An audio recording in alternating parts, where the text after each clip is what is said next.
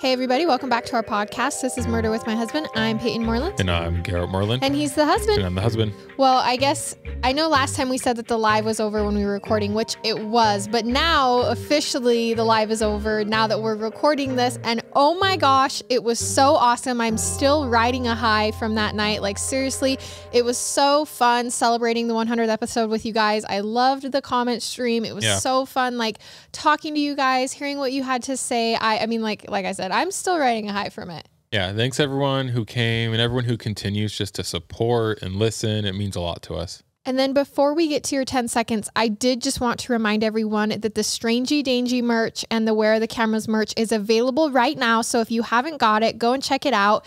It's at fanjoy.co slash MWMH, or the link is in the episode notes and also on our social media channels. And also, it'll be up for another, I want to say two weeks maybe. Right. And then we'll be doing another drop in a few months. Yeah, we actually, I saw someone commented and was like, hey, can you guys do crew necks? And we did crew necks last time. So just if this drop doesn't have what you want, stay patient, stay tuned. We'll be doing different ones each time. So, all right, Gare, what's your 10 seconds? So I still need to post a picture of my truck. I had a couple of people ask me and I haven't posted a picture yet. So I'm so sorry. I'm so bad at like posting stuff on Instagram.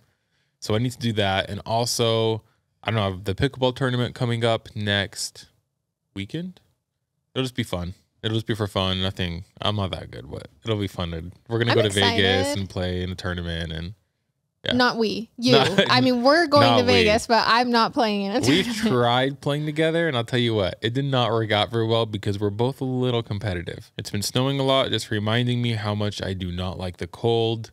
And oh, I just remembered, people keep like asking about different sour candies. Oh, yeah, yeah. And so I don't know. I'm gonna have to do something, but keep sending the request over because I love trying new sour candies. Okay, all right, let's get into it. Today's case sources are BBC.com, TheGuardian.com, Heritage Hotels, NZHerald.co, which there's a lot of these sources actually have um, multiple articles under one source. So I'm not gonna, I'm just gonna say the source and then we'll list the articles. Okay. pointsoflight.gov.co, littleprincess.org, Daily Mail, legislation.gov.nz, courtsofnz.gov. All right, so before we get into this, I did just want to preface this case by saying that we are kind of in a day and age where meeting strangers, not in person but online, is very common. And it's almost like you can get to know someone before you know them. You know what I mean? Totally. I mean, we texted and DM'd a couple of times before we went on our first date. Right. Like this, I feel like this is kind of a newer thing that's happening. And to go with that, if it's happening in everyday life, it's definitely happening in the true crime world. Totally. And that has everything to do with today's episode. So, our case begins on December 2nd, 1996. Just eight days after I was born, another little girl named Grace Emma Rose Millane was also born in Brentwood, Essex. If you don't know, Brentwood is a town in the borough of Brentwood, which is the country of Essex, which is in the east of England. So I looked it up for everyone in America if you didn't know, or anyone listening that's not there. Little Grace Millane was born to her parents, Jillian and David. David actually already had two younger sons named Michael and Declan from a previous marriage, so Grace was Jillian and David's first child together. Michael and Declan adored Grace. She was their brand new baby sister. Yeah. And as she grew up, Grace became a force to be reckoned with as the only girl in her family. She loved to play hockey, which we are a big hockey family over here. So I think that is so cool. Grace also acted as a mentor at hockey for the younger players as she got older, always teaching them, making them feel included, and was always very kind to them. By her teenage years, Grace really felt like she could achieve her dreams and never felt like a dream was too big. And she kind of kept that attitude all the way to university. In September of 2018, Grace actually graduated from University of Lincoln in England East Midlands with a degree in advertising and marketing. And after graduation, she decided to leave the country for a gap year. She wanted to travel and really start living those dreams that she had dreamed. But before she left, she decided to cut off her long brown hair and donate to the Little Princess Trust, which is a charitable organization that provides free real hair wigs to children and young people who have lost their hair through cancer treatments. Okay. And I mention this because Grace really had her life together and had a sweet and kind soul. Like, I think, I mean, maybe not all women feel this way or men, but my hair is something that, you know, I've loved growing up my whole life. And to cut it off and be able to donate it to someone else really says something about who you are. She came from an amazing and loving family who wanted nothing but the best for her. Yeah. So I assume this is recent then because she's going to university or college. Right. So it's in And 2016, 2017? 2018. Okay. Perfect. So finally, in October 2018, Grace begins her year long backpacking overseas excursion around the world. And she started with a group tour from Lima, Peru, before traveling on her own toward the Patagonia region, stopping in Bolivia and then flying to New Zealand. That's awesome. After arriving in New Zealand on November 20th, Grace spends 10 days traveling around the upper North Island, including the Bay of Islands, before finally heading to Auckland, Where's that? New Zealand. Okay. The Bay Islands. Is it like a bunch of different islands? Yeah, so the Bay of Islands actually encompasses 144 islands. Oh. So it's definitely a big bay of islands. You did your research today, didn't you? Yes. By well, I just I know the questions you're going to be asking a little bit more. That's funny. So by December 1st, 2018, Grace checks into City Life Auckland, which is a hotel. And this is where she is staying on this leg of her trip in New Zealand. And it's safe to say that it has been a busy but eventful two months for Grace. She has visited so many different places, met so many new people, and the gap year of her dreams was really everything she had hoped it would be. After checking into the hotel, the next day, December 2nd, 2018, was actually Grace's birthday. Friends and family began blowing up her phone with birthday wishes. They wished for her to have the best day and to keep enjoying her travels. But as morning turned into afternoon and Grace had not returned even one message from anyone that day, her parents began to wonder where she was. They called and called, but there was no answer. And this was immediately strange to Grace's father back home because Grace had been bombarding the family with photos and messages of her adventure the whole time that she had been gone. Yeah. So why was she now radio silent, especially on her birthday? But I mean, Grace is a 22 year old university graduate who had been traveling the world on her own for the last two months. She doesn't necessarily need to respond right away. She's independent, trustworthy, and thriving. For all they know, she's spending a couple days hiking or touring out of service and just forgot to mention it or didn't know she would be out of service. Yeah. As Grace's birthday comes to a close and no one has heard from her, friends and family try not to overreact. Which I guess is a little weird though, because if you think about it, like I always talk to my family on my birthday usually. Right. You always talk to your family. I know everyone's different, but it seems It's it sounds like it was normal in their lives too to talk on right. their birthday. I think it was definitely quite alarming for her parents to not be receiving a text, but they didn't want to overreact because she had been gone traveling on her own for months. Yep. So all of her friends and family go to bed that night with Grace in the back of their mind. Three days later, when Grace's phone is still going straight to voicemail and no one has heard from her, her parents decide to reach out to the police to report her missing. New Zealand police listen to Grace's parents and begin the investigation into her possible disappearance. So you have to remember, they're back home and they're having to call New Zealand Yeah, police that would be rough. and be like, So our daughter's there traveling alone. This is the last known place we knew. Can you go check it out? I mean, that's such a complicated situation. It is, and I wonder. I don't know much about it, but I wonder when someone calls from another country and asks for help. I wonder if the cases aren't taken as serious. It is just like you're in a whole other country, right? right. So right. it's just like it seems like it would be a, a really difficult to navigate that. Exactly. Um, and I don't want to spoil anything, but I do feel like New Zealand police does a really good job with that Oh, because okay. I think That's that good. was a worry on my mind as well, but it's definitely not the case here, which we don't see often. Now, this is going to seem fast, but not even a day later, on December 6th, police announced that they have brought in a 26 year old man for questioning in the Grace Millane disappearance, but they leave him unnamed. So, not even a day after her parents have called, police are like, Yep, we went and checked it out and we've brought a man in. What in the world? Right. So they're kind of like what, but they're not naming the man.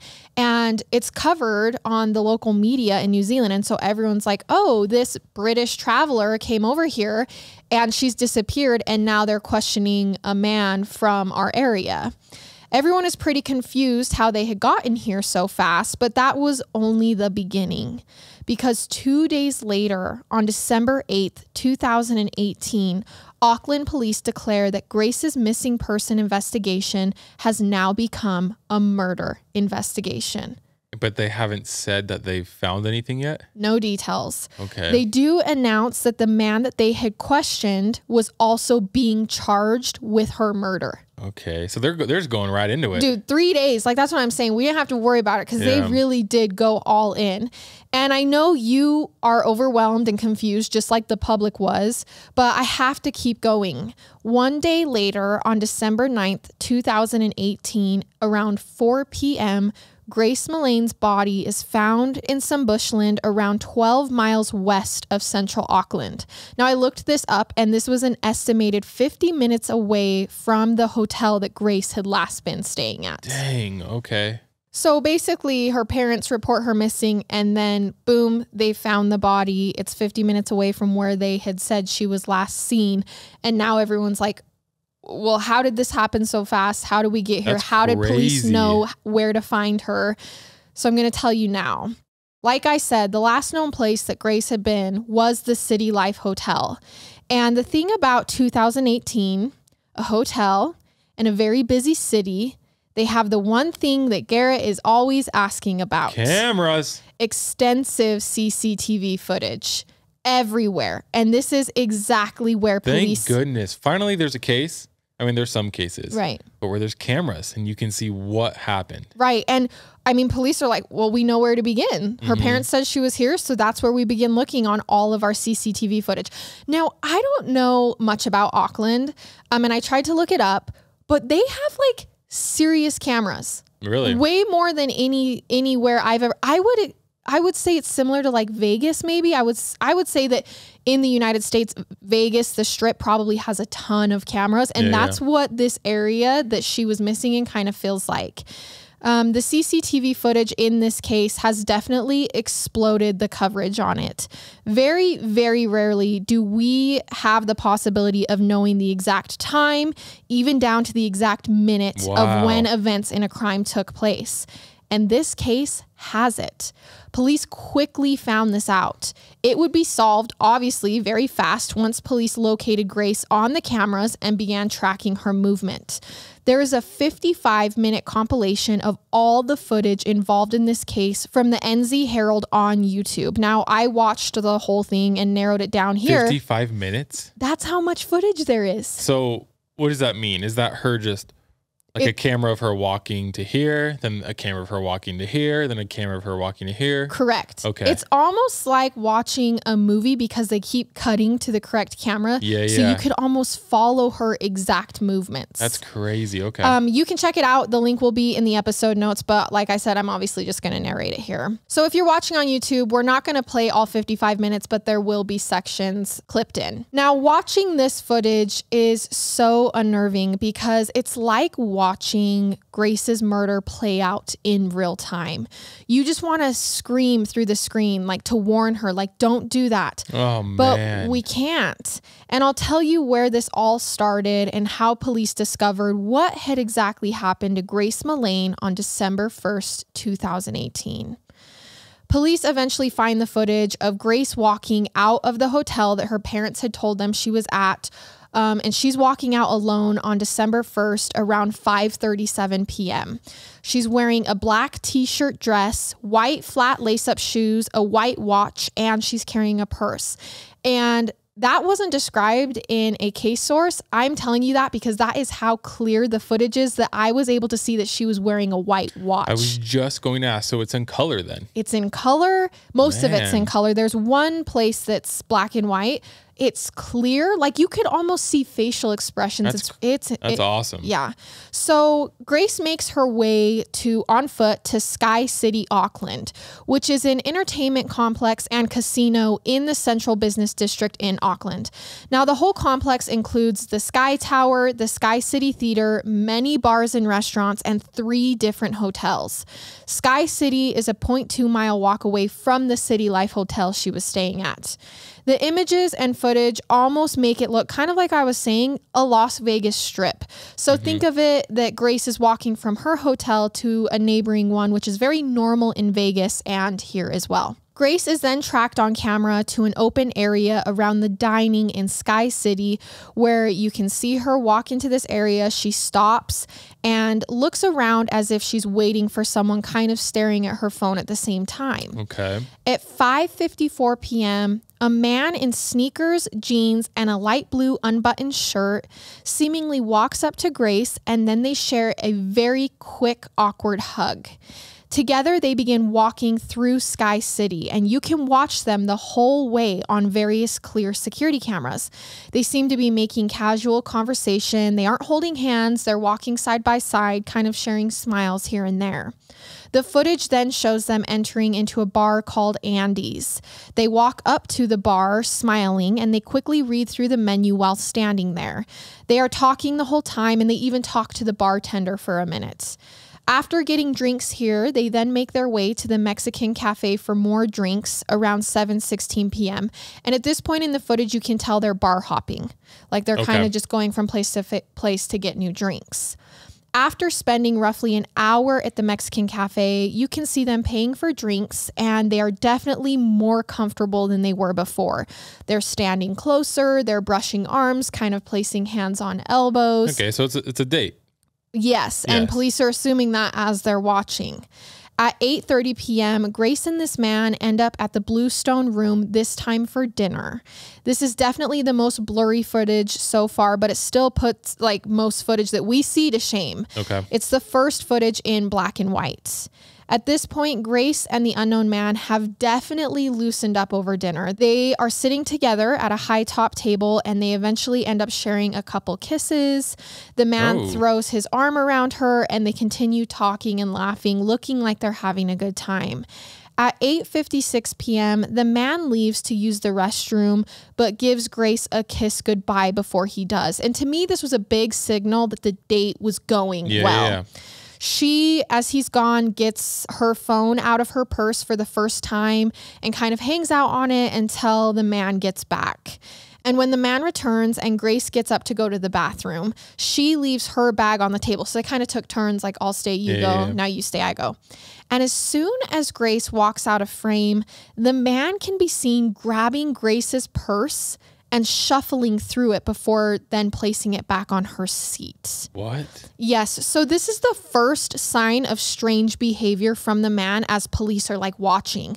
They note that up until now it seemed like a normal date, but for this guy to take her purse That's as she's so in the weird. bathroom and shuffle through it is really weird. I, I we've been married for almost five years, and I don't even touch your purse now. Right. I can't imagine on the first date just, Just being, like, grabbing it and shuffling curious. through. Hey, what's going on in here? yeah. That's weird. So Grace and the man then leave Sky City, walking with their arms around each other, holding hands all the way back to Grace's hotel City Life. They make their way through the lobby and into the elevator up to Grace's floor, which is the third floor. I will say that this part in the footage goes on to become the most eerie and infamous part of all of this security footage because, as police soon discover, Grace and him go up the elevator to her floor, and Grace will never be seen on camera again. oh my gosh. Okay. Question before we keep going: Is there cameras in the stairwell as well? Yes. Okay. So I said elevator, but stairs. She'll never be seen coming down from that floor again. Okay. Police have obviously searched the hotel at this point. Like the second they got the call, they went to the hotel. Yeah. They searched her hotel room and they couldn't find her. So when they realized that they couldn't place her on any camera after this, they are confused. If she's not in the hotel, how did she leave without being caught on camera? As police realize they can no longer trace Grace, they begin scanning for the unknown man. He had to have come back down at some point, unless he too has vanished with Grace. No way. Police discover that at 8 a.m., the morning after the apparent date, so after they've gone up, Uh huh. the next morning, they spot the man in the elevator going back down at the City Life Hotel. Okay. All right. So now it's starting to all make sense where they charged him and so on and so forth. Right. And the man in this footage is no longer wearing his blue button down shirt that he had unbuttoned that he wore up to the room.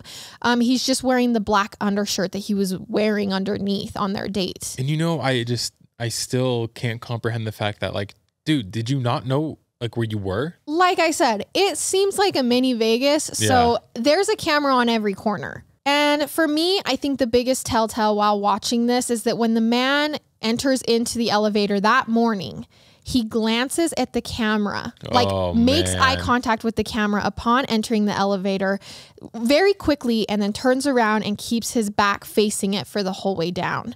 Security footage tracks the man entering, leaving the hotel and entering the Atrium Mall, which is right nearby, at 8:07 a.m., where he then enters a store called the Warehouse. At the warehouse, the man is seen shopping around and eventually taking something up to the counter to check out. That item was a large suitcase. Oh my gosh. No way. Yeah, footage then tracks the man rolling the suitcase all the way back to the City Life Hotel, where he once again enters the elevator and uses a hotel key. Which keep in mind, he was not checked into this hotel, so it has to be Grace's key Yep. to get up to the third floor that she had been staying on. That is so brutal. This is horrible. Yeah, the next time the man is seen as at 8:32 a.m. again on the elevator going down without the suitcase. He makes his way to the Countdown Metro where he can be seen purchasing cleaning supplies. The man then takes the supplies back to the City Life Hotel and once again makes his way up to the elevator with the supplies in his hand. I'm just so I'm beyond confused at the fact that he thought he was gonna get away with it. Right? Just beyond confused. Like the fact that they were able to track this man, he leaves, he goes down the elevator. We track him out the hotel. We track him going right, then left, then to this, then to this store where there's cameras, and then we see him. You know open what I mean? like open and shut case, it seems. Yes, which is I think explains why it happens so fast. Yeah. At around 10:25 a.m., a little over an hour later, the man leaves once again, and this time for the first time, there are other people in the elevator with him. Remember that he's gone down 2 to 3 times already and he's been alone, but now there's people in the elevator with him, and I know that you are assuming to know what this man was doing at this point in this Yes. timeline, but to be those innocent bystanders in the elevator that have Oh, no man. idea what this guy is doing. Does he have the suitcase with him? no, Oh, he's okay. only gone and got the suitcase and carried it back up. We haven't seen it again. Well, I was gonna say that's that's bad, but if he had the suitcase and then he's in the Well, elevator with, with people, other people. that's just horrible. Right. And I think for these people, this this footage is pretty famous. Like I said, to watch this footage and be like, oh, that's us in the elevator with Yeah, him. You know what I mean? The man, you know, goes down and then catches a taxi, which literally has cameras in it that are pointing right at the man's face. And then he ends up going to a rental car place where he rents a red car. He takes the car back to the City Life Hotel and once again goes up to Grace's floor. So this has been like up and down multiple times that the police are tracking this guy. At around 4:29 p.m., the man makes his way to the Revelry bar and purchases a drink. He leaves said bar with a woman. So he goes to this bar, What? meets a woman, and then leaves the bar with the woman. Oh my gosh. He just Right. I mean, I don't know the Okay, he killed someone. He just killed someone and then now just went to a bar, met another woman. On is- another date? and now is leaving with her. Right. So eventually the man ends up alone again after he spent time on this date and later that night is seen driving the red car to another store. He rents a rug doctor. That's a big old carpet cleaner Yeah, machine yeah. and takes it back to the hotel. Now, It's just like it's it's comical that I, I just can't believe he's doing all this. Right. And it's being caught on camera. That's insane. and it kind of to me is like you couldn't just make all these in one trip, like go to the store, get Yeah. the suitcase, get the cleaner, get you know what I mean? It's like 10 times up and down. But to me, I mean, I just don't think he's very smart. Like we were talking about, there's cameras everywhere. So I'm not sure how he is able to get this rug doctor into through the hotel lobby, busy place, into the elevator without being stopped. I mean, I think they just assume, oh, he's he works for the hotel, you know, he's going to clean carpets. Right. But at 8:24 p.m., this man wills the rug doctor into the elevator and makes his way back up to Grace's floor and people get on the elevator with him as he's just standing there with this carpet cleaning Yeah. machine. At 8:56, he wheels it back down and returns it to the store. So he rented it. The next time the man comes back up, he grabs a baggage trolley, like the ones from Sweet Life of Zach Yep. and Cody, and takes it into the elevator with him. I was gonna say a baggage trolley is a baggage trolley everywhere. But I know, but Sweet Life Zach and Cody's a good a good one. well, because they ride them on that That's show. That's true. No, you're right. I'm you're a Disney Channel right. kid. You are. You are. At 9:30 p.m., the elevator doors open on the third floor once again, and this unknown man wheels the trolley back into the elevator with him. And this time it has two large suitcases Oh, and a sports bag on it. And police now realize, as they're watching this, how Grace Millane left the hotel Yeah. without being seen. The man then unloads the bag into his parked rental car and then goes back up to the room to sleep the night. no, he sleeps in the same room. Yes. That's ins- that's that's insane. I don't know what It's I don't know what you guys else want me to say sometimes, but that is insane. Yes. And can I just stop right here and say that, like, we're tracking this man or whatever, but when you actually think about what he's doing, Grace is a real person. Yeah. She's a real person and she's a real victim. And as you think about him, just like bringing these suitcases down, and no one knew what was happening, but we know what is happening. So sick. The next morning, December 3rd, the man can be seen on footage leaving the hotel around 6:14 a.m. and driving his red rental car to a hardware store where he purchases a red shovel. I don't know what his obsession with red is, but he just gets the red car, the red shovel. You know, the more you go on about this too, it seems like I know we're gonna get into all of it, but that it wasn't premeditated, and I'm only saying that because he's doing all this stuff. I mean, I I know people do this stuff after, but like he didn't even have a shovel. You know what I'm saying? Like it seems the whole thing's just weird. To me, it's almost like he had the opportunity, he Like took he's it. always he's wanted, wanted to, to. and he had the opportunity. and now he's so he took taking the it. steps to Right. Yeah, yeah. Right. But yes, if you're saying that he had a kill kit when he went on this date, no, No. obviously Yes. not. And then at 9:30 a.m., roughly two and a half hours after he purchased that shovel, the man is seen on camera returning to the hotel. And they don't know where he went at this point because he left camera like range basically. But he's back again at the hotel, and this time when he walks in, he's barefoot. Okay. Now, these next few scenes can kind of get redundant, so I'm just going to sum it up here real fast. Basically, the man retrieves two more bags from the hotel, drops some of those off at the dry cleaners, buys another suitcase, washes the car, washes the shoes that were inside of the car. So now we know why he's barefoot because his shoes were in his car. And then washes the shovel and actually leans it up against the wall and leaves it at the car wash. It's like one of those hand car Got washes. it. Yeah, yeah. So, two days later, the man is seen dumping items out of a bag into trash bins. This whole time, he is staying at the City Life Hotel in the same room on Grace's card because Grace's card is the one that is charged to that room. Yep. At this point, in tracing the cameras, Auckland police have identified the unknown man. They are like, we found out who he is, we got his picture out, we know who he is. And on December 6th, they find him near the City Life Hotel where he's still staying, and they bring him in for questioning. So real quick, how long from the time that her parents called?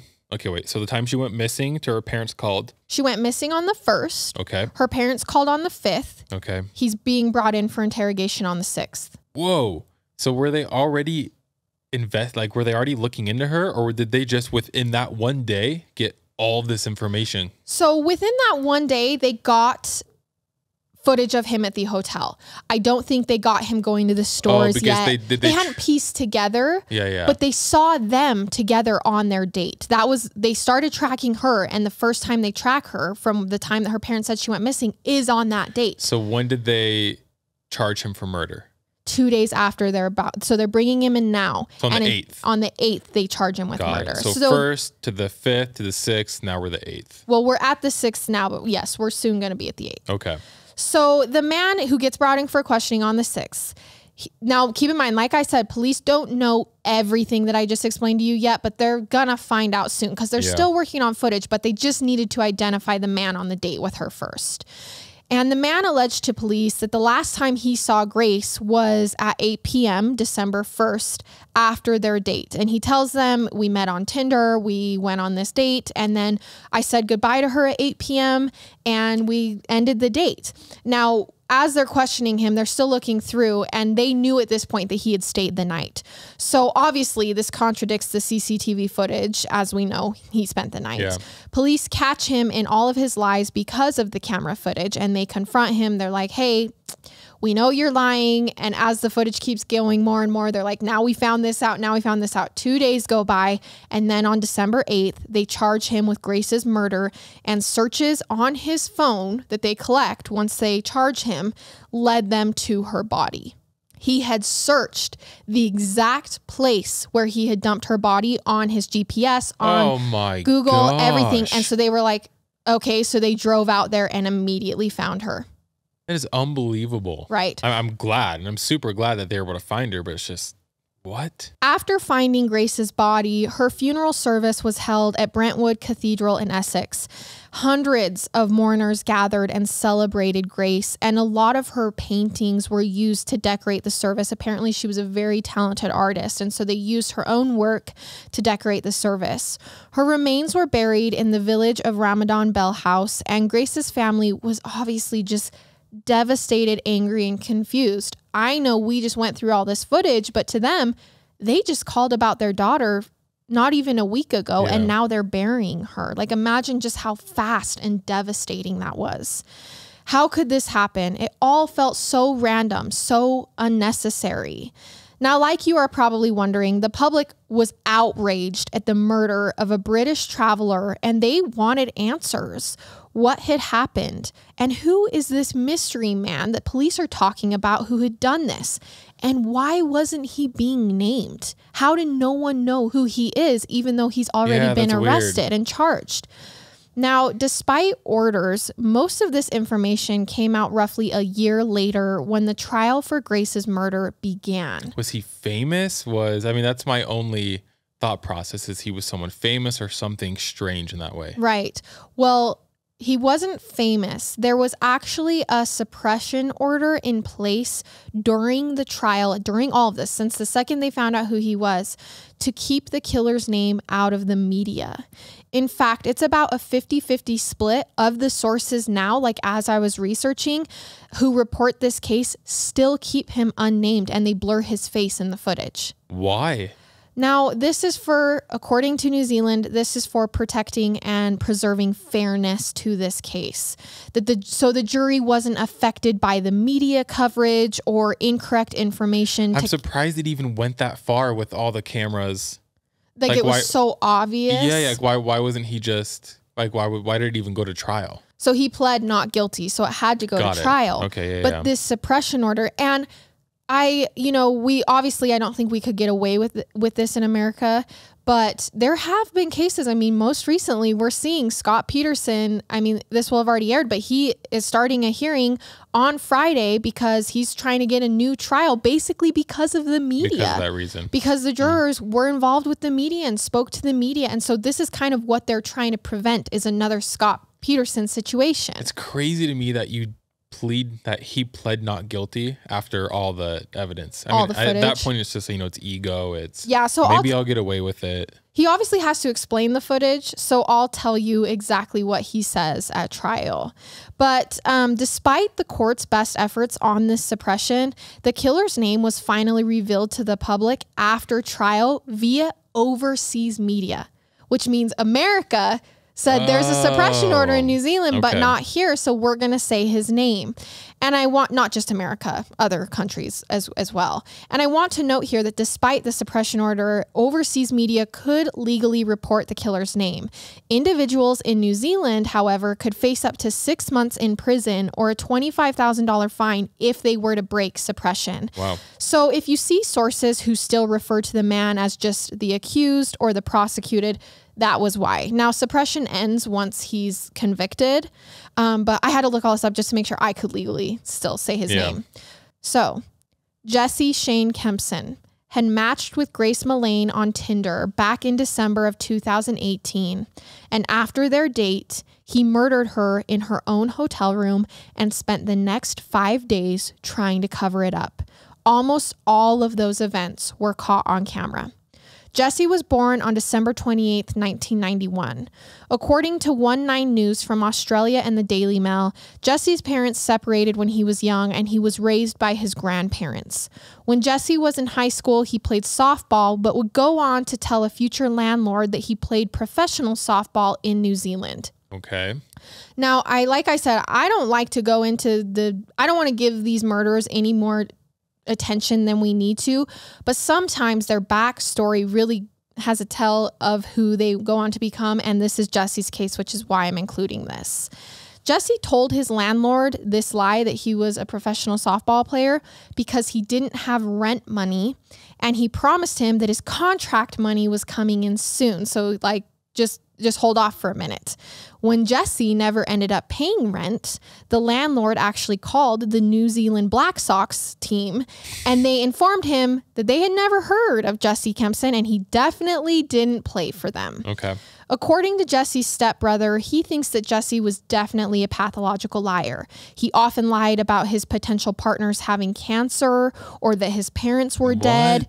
Basically, any lie that he could tell to make someone have an emotional His response. parents being dead. Oh my gosh. Yeah. gosh. Jesse was trying to get people to feel bad for him or help him. It's all very, very manipulative. Jesse had a son with a woman that he dated, but didn't maintain any contact with them and also had no contact with his father. A woman that met Jesse told interviewers that he claimed to have been in the process of buying up all the bars um, to add to his already existing restaurant franchise. There was no such thing. Jesse did not own a restaurant. Yeah, yeah. He went on to claim that he had a bachelor's degree in international law and that he came from a family of millionaires who owned chain restaurants. He also told multiple people that he was buying up the top restaurants in Auckland's Viaduct Harbor, which is a waterfront mixed housing and commercial development area. It's like a more crazy version of the Tinder swindler. Exactly. He's just lying, Lying. which is why I feel like I had to include this. yeah. Um, I had to include this detail about him buying up the waterfront property because he's basically telling people that he's buying all the restaurants in the fanciest part of Yeah. town. This isn't diagnosed that I saw anywhere, but it feels very narcissistic type that he lies about grandiose and fake ideas to convince people to like him. At trial, it was reported that Grace was murdered via manual strangulation. The defense said this was an accidental murder of rough play gone wrong, Oh my god! which is why I was telling you this is how he pled not guilty. it's just so disrespectful to me to to claim that. Right. So disrespectful. We're going to get into that, but yes. Evidence, however, would indicate that the crime was not accidental because of the extent that he went to cover it up. The Tinder messages were also released, like their Tinder exchange, and the jury was shown how persistent and aggressive Jesse was trying to convince Grace to go on a date with him. She didn't really want to go out. Grace was found inside a suitcase buried in a shallow grave. The trial was horrific for Grace and her family because all of her sexual past, her behavior was brought up when it had nothing to do with what happened. yeah. The trial took almost three weeks, and a jury made up of seven women and five men returned a guilty verdict after five hours of deliberation. Good. Okay. The prime minister at the time actually issued an apology to Grace's parents right away for what had happened on their soil. Yeah. She said, Your daughter should have been safe here and she wasn't, and I'm sorry for that. After the trial ended and the name suppression was lifted, it was reported that Jesse Kempson had sexually assaulted another British tourist just months earlier who he had also met on Tinder. He also faced eight charges of sexual and other violence Oh, against his current girlfriend. Oh, he had a girlfriend at the time too? Yes. I don't know if they were like on and off again or yeah, whatever. yeah. Up until June 29th, 2021, Jesse Kempson has tried to appeal his verdict multiple times, but all have been denied. Good. In the UK alone, seven of the 17 killings of a woman in the last five years that went to trial found the man not guilty. 38% of UK women under 40 years old report being assaulted and experiencing unwanted violence during consensual sex. That equates to 3.6 million women under 40 in the UK who have experienced unwanted violence in sex. In the US, as reported by Stop Street Harassment, it found that 81% of women and 43% of men have experienced some form of sexual harassment during their lifetime. That, those are such Yeah. high numbers. Yes. Grace's murder is added to the list of cases, this is what you were talking about, where the defense team tries to argue the use of rough sex to justify violence or murder among women. And as you might know, this isn't even new. It's been going on since the Jack the Ripper murders and how the fixation was on the women who were sex workers and therefore familiar with danger and all sorts of other very toxic portrayal of victims. I think this also speaks to how women are often blamed for the crime despite being the victim. Yeah. He blamed Grace even though he's the one who killed her. And that was what you were saying. It's so disrespectful. Love Grace at Love Grace underscore UK on Instagram is a charitable organization that has been raising money and awareness of male violence towards women. It was set up in Grace Millane's honor by her cousin Hannah and her mother Gillian. They accept donations of handbags, which are then filled with toiletries and little luxuries for women and are donated to women's abuse shelters in Essex. So Yeah. I would highly suggest going and checking it out. We did it. I mean, if you can donate, do. It's awesome. Michael and Declan, Grace's half brothers, actually posted many sweet messages on their social media channels in the early days of Grace's disappearance. And they continue to post about her to this day. Grace's friends describe her as having an infectious smile and being the happiest person and the brightest star. Her friend Samantha Ramsey said that Grace had big dreams and encouraged everyone around her to do the same. And she was just out there trying to see the world, trying to further her education, trying to live out a dream when she met horror. And that is the story of Grace Millane. What's crazy, horrible, that's so sad. What's crazy is the fact, too, that Grace, if it wasn't Grace, it would have been someone else, Exactly. which is horrible as well because, I mean, it's so sad that it was Grace, but it's scary to me that if it wouldn't have been Grace, just like the girl before her, she wasn't killed, but she was sexually assaulted, Yeah. it would have been somebody else. Almost like he, like you said, he wanted to kill someone. He was just waiting for the right Opportunity. opportunity moment, whatever you want to call it. Yeah, I think this guy was would have definitely become a serial predator Yes. had he not been caught, but he just got caught. Good. So, most of the footage that we talked about will actually be inserted into the YouTube. So, if you just listened and you want to go check that out, that would be an easy option to check out the footage. If not, it's linked in the episode notes if you want to watch the security camera footage.